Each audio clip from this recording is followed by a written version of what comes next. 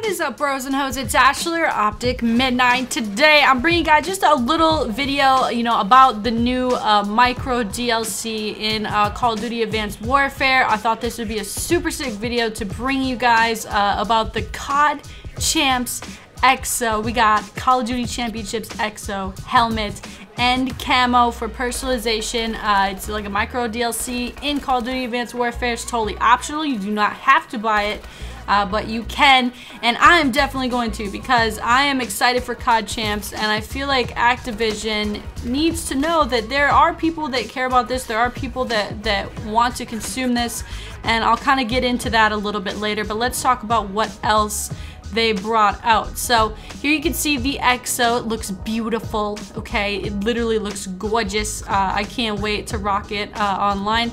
Uh, it just looks really cool. It's it's like all got this gold theme and it's super dope. Uh, the helmet's really, really interesting. It's like a, I don't know how they even see out of it. I'm not asking questions though.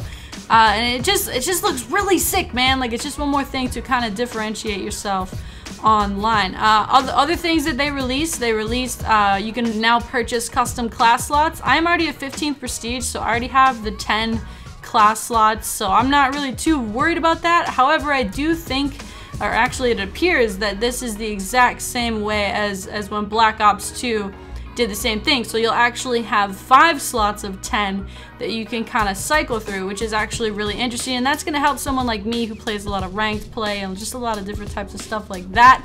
So I'm definitely going to be copping that. Otherwise, they, they released more armory spots. Now, I'm also, like I said, a 15th Prestige. My first armory isn't even full. I think I have five out of the seven pages full.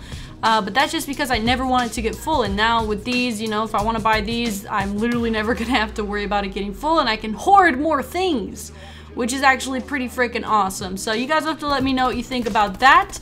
I'd be really interested to know. Um, and, and yeah, just the camo, this can look at this camo, dude. This looks amaze balls. Like it's, it's actually animated. So it looks like it's moving. It's so sick. Like it just makes your gun look super, super gold and it's just it's super eye-catching which I really like I mean obviously gold guns in Call of Duty have always kind of been like sought after uh, types of things like that. So I I can't wait to rock this online. I'm wondering how many other people are gonna rock it online. I'm kind of excited to see but this kind of opens a door for me at least in my mind. This opens a door because it is COD champs it's not something maybe the the casual player will really fully understand when they see it, but there are these huge competitions that are happening. Activision has the Call of Duty Champs $1 million purse tournament every single year, um, and, and that's a really big deal. And I'm really wondering if this is kind of maybe opening the door or window to possible team exos. I'd love to see an Optic Gaming uh, exo personalization pack camo, something in the game